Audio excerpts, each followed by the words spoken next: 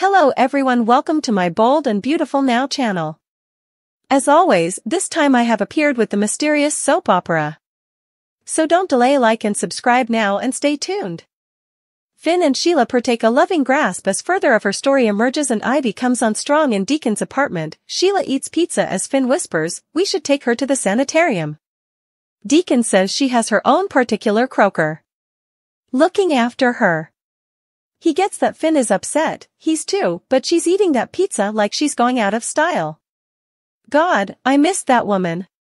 Sheila pipes over, I missed you too. Both of you. She's dehydrated, not deaf. Sheila insists she's okay because she's safe and with her two favorite guys in the world. Cleric assures her she'll be her old tone in no time. Finn takes her hand and says Deacon's right, having you back is everything. At Il Giardino, Liam thinks it's great that Steffy joined him and Ivy. Steffy's surprised her kinsman wanted her to join she allowed. She wanted Liam all to herself. Ivy muses, well, they say three's a crowd.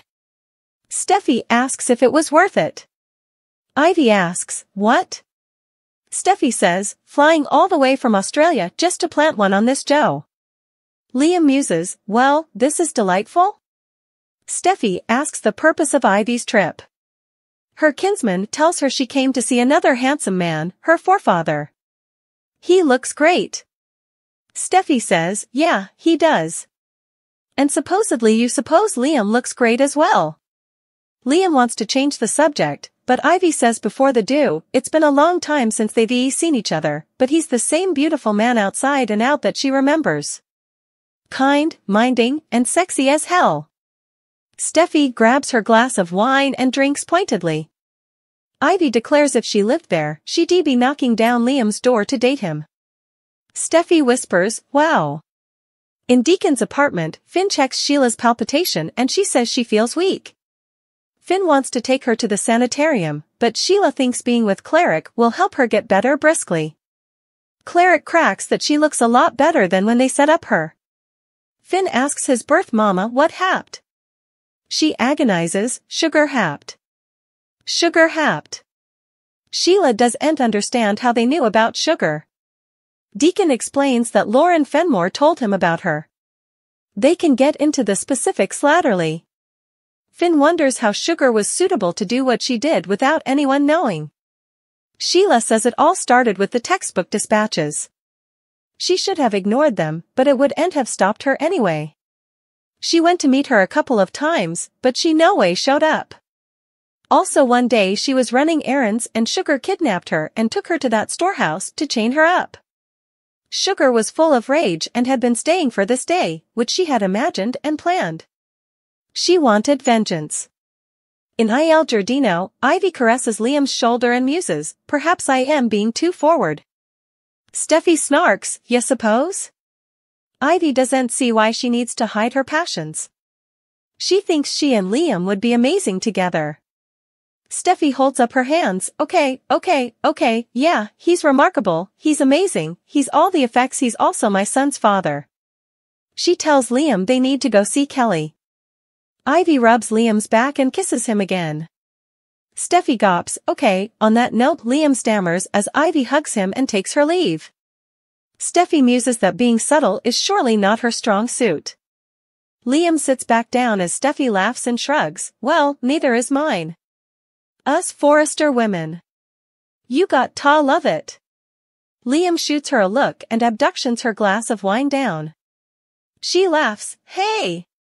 In Deacon's apartment, he asks Sheila what Sugar did to her. Sheila flashes to Sugar having her chained up in the storehouse and telling her, I am in charge now, before adding that no bone is indeed looking for her. By the time they do it'll be much too late. She's been hanging on to this wrathfulness for so numerous times, Sheila double-crossed her when she was supposed to be her friend. Sheila tries to free herself as Sugar goes on about having to take the raps for her crimes. She ruined her life, but that stops moment. All she could suppose about was vengeance, she did and indeed watch about the hole she was in. Sheila argues, you were arrested for what you did to Lauren Fenmore's son. Sugar smothers that none of that would have happened if not for Sheila. Sugar also tells her she's headed for Steffy Forrester's sand house. Steffy's going to be your first victim. Sheila yells, no. Back in the present, Sheila tells Finn and Deacon, I tried to stop her. I tried to stop Sugar from hurting Steffy and the children. To cover them from that madwoman, but she was so hung up with getting back at me, she didn't watch what she had to do. She was just determined to make me pay for it. She nearly got down with it too. Finn croons, it's okay, Cleric holds her. At the precipice house, Steffy tells Liam that Becky is dropping off Kelly soon, she's really agitated to see him. She tells him he's an inconceivable father and she knows he's the same with Beth. Liam jokes that between her and Ivy his pride's about to pop. Steffy says the difference is that she's not trying to date him. She's right about one thing, he's inconceivable. Liam quips, do not let Finn hear you say that. Steffy admits she's had a weird feeling from her hubby this morning. In the history it was always about Sheila, but this time it's not because she's gone ever. In Deacon's apartment, Sheila tells Deacon and Finn further about Sugar's plan. She flashes to Sugar in the storehouse saying she was going to strangle Steffy and those brats of her. Everyone's going to suppose you killed your son's woman. The mama of your grandson. When she's done, they LL cinch Sheila over and throw down the key. Her precious son won't want anything to do with her ever again. Sheila tells Sugar, you do'n't look like me, but you do'n't sound like me.